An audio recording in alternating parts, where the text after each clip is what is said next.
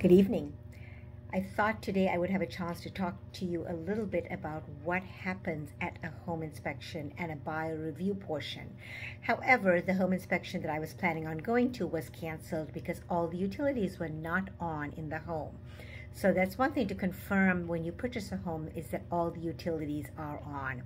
Honestly, I had tried to confirm that with the listing agent. They assured me everything was turned on. However, it wasn't. So let's go back and we'll talk about something else um, as you are starting your home search, you have a few decisions to make. One is you need to find a lender. You need to get pre-qualified. You need to find out what you can afford to buy.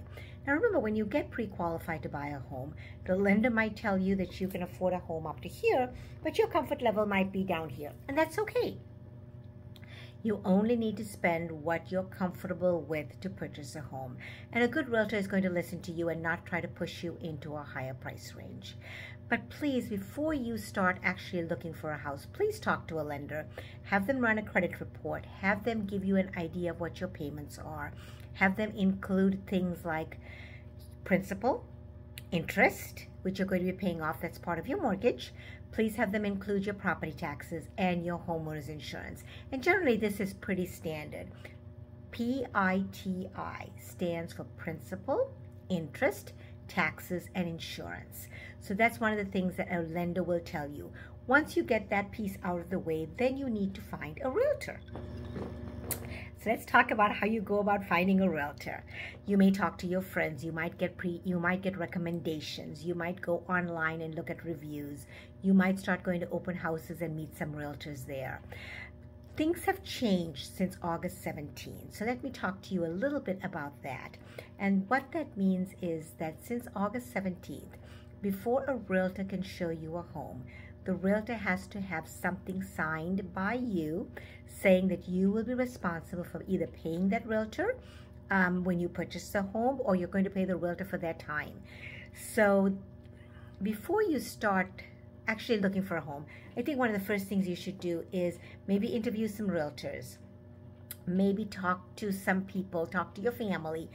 And what I wanted to do is kind of walk you through what you could expect when you meet with a realtor and I'm going to talk to you about my plan just because it's what I have in front of me. So, um, if you and I are to meet to purchase a home, we will first start with a counseling session.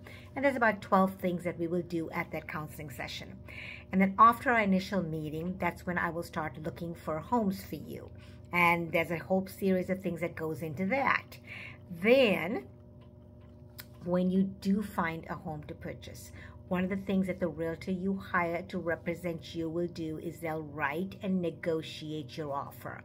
So there are several steps that go into that. After your offer is accepted, there's a number of things that go into that. And then I'm happy to share my plan with you at any time. If, you, if you've got questions, there's about 58 things that are on that list that I can tell you that I do on a daily basis for the buyers that I am working with. But just be be aware that buying a home and looking for a home these are important things. These are things that you should hire a professional. And when i say hire a professional what's happened in today's market is that you are going to be responsible for the buyer's agent's fee but also understand that um, you can negotiate that with the seller whose home you're purchasing in the old days prior to August 17th of 2024, buyer's agents were paid by the listing agent's office. The seller paid the listing agent's office, and their compensation was then shared with the buyer's agent's office. After August 17th, that sharing has gone away. But I think in all reality, um, we are going to, as buyer's agents, um, the buyers are still going to ask the sellers to compensate their agent. I have written several contracts since August 17th, and I've had offers come in on my listing since August 17th. It's been about a month now that we've been doing this. And in every single situation, the buyer has either asked my seller to pay the compensation to the buyer's agent, or my seller has agreed to do that as part of getting their home sold. So I hope this is helpful. I'll talk to you soon.